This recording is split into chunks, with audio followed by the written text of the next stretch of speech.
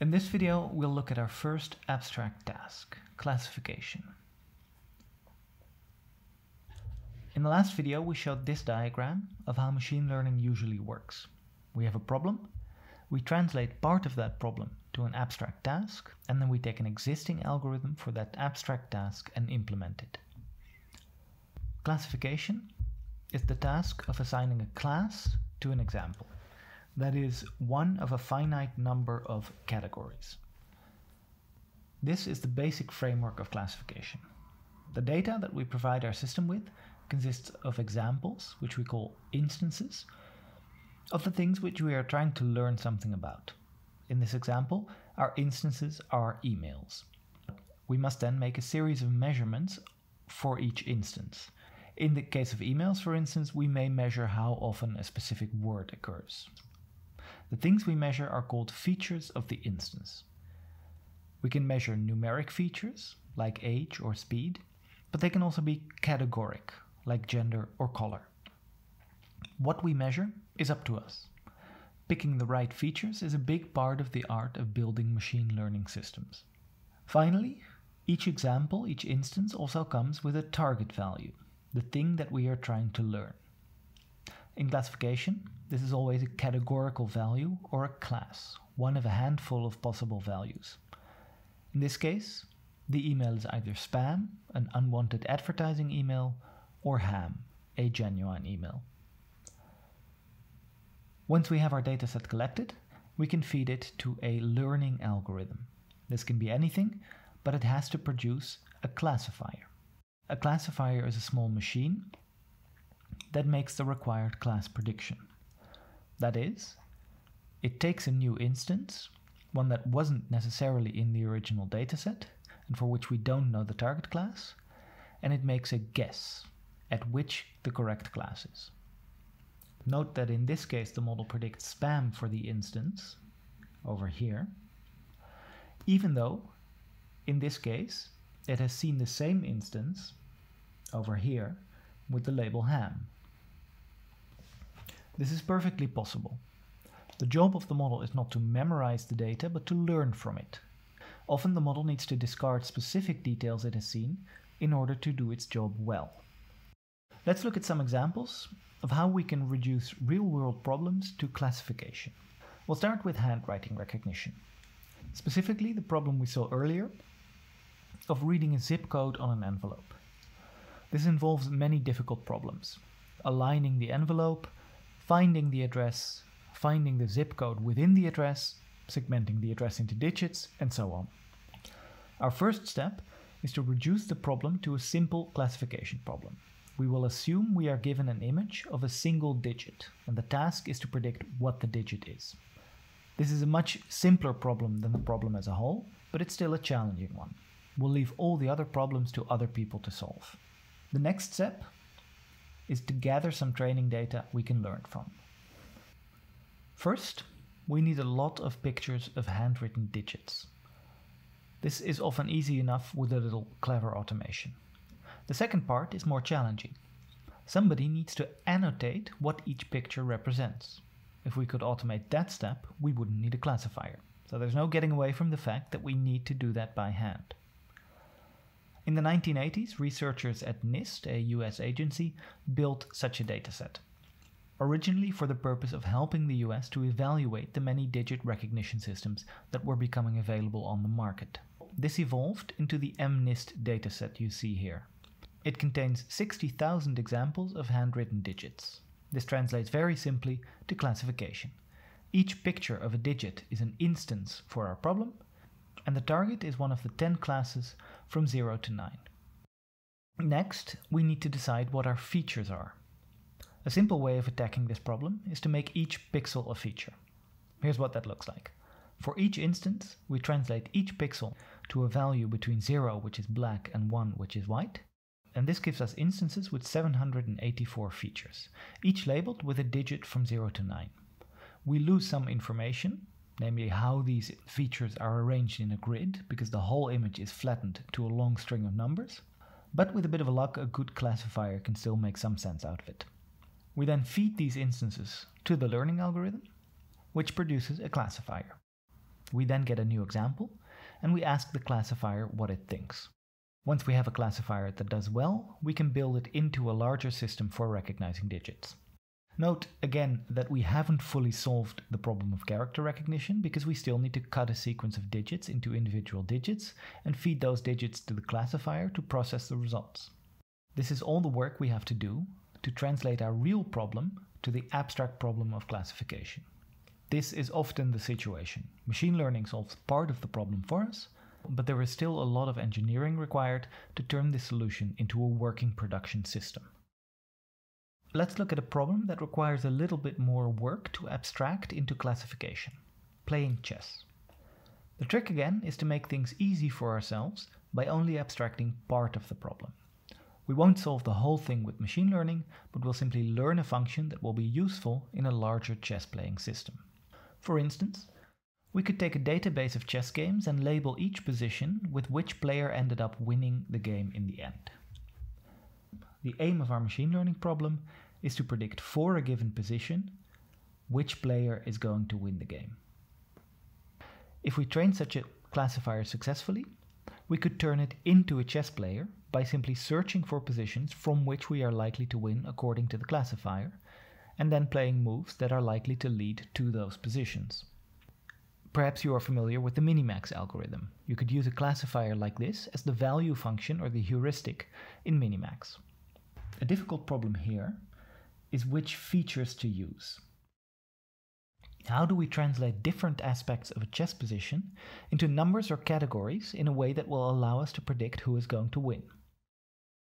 One option is to report how much of each black and white piece is left, which would allow at least some positions to be predicted accurately. If one player has a strong material advantage, they will probably win. For more insightful learning, we need better features. Domain expertise can often be translated to good features. We can check whether there are passed pawns or rooks on an open file, or whether a player owns both bishops. All of these can be turned into features. The more of such features we can come up with, the better our algorithm can perform.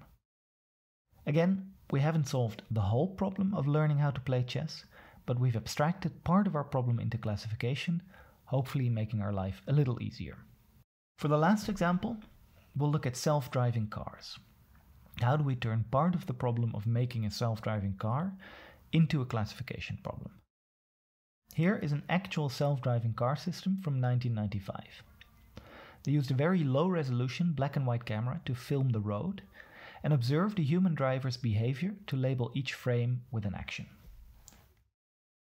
As with the digit recognition example, we simply make each pixel a feature. There are 30 by 32 pixels in the camera feed, which gives us 960 features. The actions with which we label each frame are the positions of the steering wheel. Once we've trained a classifier on this dataset and it performs well, we can hook its input up to the camera and its output up to the steering wheel. This very simple system actually drove from coast to coast autonomously in the US, albeit with a human driver executing these systems' instructions. It may not be safe enough to deal with all situations, but it can certainly follow different types of road. This is what I meant by translating problems into abstract tasks. We've seen three problems, and we've translated all of them into classification problems. We can now apply a classification algorithm to see how well it does. So how do we fill in the other half of this picture? Once we have a classification task with features selected and a set of good examples, how do we actually produce a classifier? We'll look at three simple examples. A linear classifier, a decision tree classifier, and a nearest neighbors classifier. We'll only briefly explain them here to give you a sense of how these problems might be solved, so don't worry if you don't totally get it yet. All methods will be discussed in more detail in later lectures. We'll use this dataset to illustrate each algorithm. Its instances are penguins. The two features are their flipper length and their body mass. The class is their biological sex restricted to male or female. The question is, are these two features enough to guess a penguin's sex? Since we have only two features, we can easily plot our dataset. The flipper length feature on the horizontal axis and the body mass feature on the vertical axis so that each example in our dataset is one point in this plane. We call this space, where every feature is an axis and every instance is a point, the feature space. If we had three features, it would be a 3D space. For higher numbers of features, we may have difficulty visualizing the feature space, but that shouldn't stop the classifier. Any classification method we can come up with should in principle work on an arbitrary number of features. Here is a simple idea for a classifier. We draw a line. We just draw a line somewhere through our feature space and we call everything above the line male and everything below the line female. If we draw a good line, we may get most of the examples right. This is the line returned by one algorithm for fitting such lines. As you can see, many examples end up misclassified, but some points are on the correct side of the line.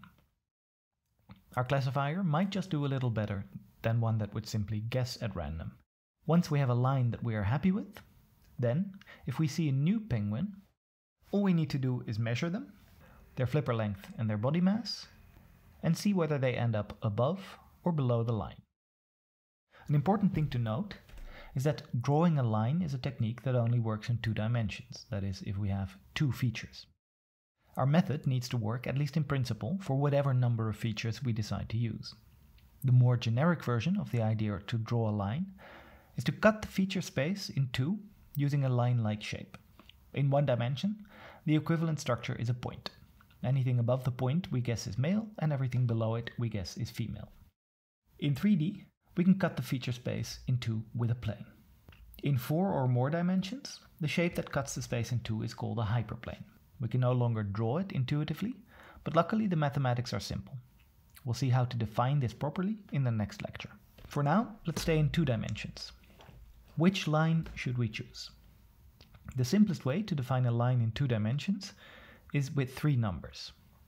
One multiplier for each feature, a and b, and a value that is added independent of the features C. This means that there is a three-dimensional space with axes A, B, and C, where every point in this space is a possible line in our feature space. We call this the model space. It is simply the space of all models available to us, given the assumptions we have made. In this case, the assumption is that the model is a line, and the model space becomes a three-dimensional Euclidean space. Our job now is to search through this model space for a model that fits the data well.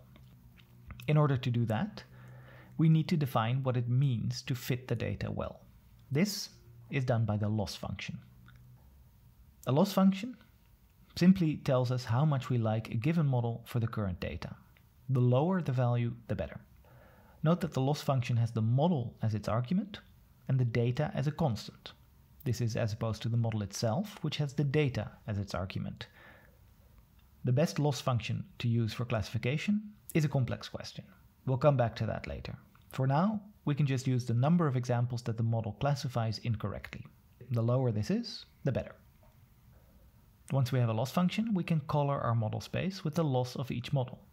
All we need to do now is find the brightest spot which corresponds to the best model. More on that in the next lecture. The problem with this particular classification task is that it just isn't possible to separate the two classes very well with a single line. This is because we are actually looking at three different species of penguins plotted together. Within each species cluster, the classes can actually be separated much easier. But if we cannot separate the data by species, we'll need to look into non-linear methods of classification. Here is one such approach, a decision tree. This classifier consists of a tree which studies one feature in isolation at every node. In this case, it moves to the left if the feature is lower than some threshold value and to the right if the feature is higher. We start by looking at the flipper length. If the flipper length is higher than 1.9, then we move to the left, and if it's lower than 1.9, then we move to the right. Next, we look at the body mass. If we end up in this node, then if the body mass is higher than 4.5, we move to the left and we return a classification of male. If it's lower than 4.5, we move to the right and return a classification of female. If the flipper length was lower than 1.9, we do the same thing, but we check whether the body mass is higher or lower than 5.3. In the feature space, that looks like this. We first check the flipper length, whether it's above or below 1.9. Then if we end up below 1.9, we check whether the body mass is above 5.3 or below 5.3, and otherwise we check whether it's above 4.5 or below 4.5, and we classify according to the values we see on the leaves of the tree. We won't discuss the training algorithm for these models right now. We'll save that for a later lecture. Often these decision trees are grown by adding nodes from the root until a particular criterion is reached. And that algorithm is pretty simple, but all we want to show you here is that there are other ways to carve up your feature space beyond drawing a line. Note also that the model space for decision trees is a little bit more abstract than that for linear classifiers. We can't just pick n numbers to represent a model, we have to think about the space of all possible trees, labeled with inequalities on the features. In such cases, it may be better to forget about the model space and to come up with a training algorithm using a different perspective. This shape that we see here, that the classifier draws in feature space to segment the two classes, is called the decision boundary, because it's the boundary at which the classifier switches between classifying something as male to classifying something as female. If we run an actual decision tree algorithm on this data, it comes up with a much more complex tree, segmenting the feature space into many small boxes called segments. In a later lecture, we'll show you how this training algorithm actually works. Finally, here is an example of a lazy classifier. This is called k-nearest neighbors. It doesn't do any learning, it just remembers the data. For a new point, indicated by the question mark, it then just looks at the k points that are closest. In this case, k equals 7. So we look at the 7 points that are closest to the point that we want to classify. And we simply assign the class that is most frequent in that set. In this case, the class is female. The value k is what we call a hyperparameter. It's a parameter of the model that you have to choose yourself before you use the algorithm. We'll discuss how to choose hyperparameters in lecture 4. Here's what the decision boundary looks like for k equals 7. The point from the previous slide is indicated in white. So that's three examples of classifiers. Linear classification, decision tree classification, and k-nearest neighbor classification. A few variations are possible on this basic scheme. In these examples, we've only seen numeric features, that is, features whose value is a number. It's also possible to have categoric features, features whose value is one of a small number of categories. For instance, the species feature in the penguin dataset has three distinct possible values. Some models can only handle numeric features, in which case any categoric features have to be translated to numeric ones. We'll see how to do that in a later lecture. The problem that we've used here is what we call a binary classification problem, a task with two classes. This is probably the simplest and most well-studied type of classification. If you have more than two classes, some classifiers like decision trees and KNN can deal with that without a problem. For others, like linear classification, you'll need to find a clever way to turn a binary classifier into a multi-class classifier. Multi-label classification is a much more complex task than multi-class classification. In that case, none, one, or more of the classes can be true for any given instance. One example is predicting which genres apply to a given movie. We won't go into it in this course, but it's an active subject of research. Instead of a single verdict, it can often be helpful if a classifier assigns a score to each class. In that case, if we want a single class, we can pick the one with the highest score, but we can also check what the second most likely class is. We can also sometimes look at the magnitude of the score to see how sure the classifier is of its prediction. This is often important if the consequences of a wrong classification are very serious. To summarize, this is the basic recipe for doing machine learning. We take a problem, we translate the problem or part of the problem to an abstract task, like classification, we choose our instances and our features, we choose a model class, and then we search the model space for a model that solves our problem well. The basic recipe doesn't always fit every situation, and we'll look at those cases too, but this is always a good place to start, especially when you're new to machine learning. Here's what the basic recipe looks like in code, using the sklearn library which we'll use in the worksheets. Note that the actual machine learning happens in just two lines of code. We choose our model and we fit the model to the data. All you need to do is decide your features and decide your target values.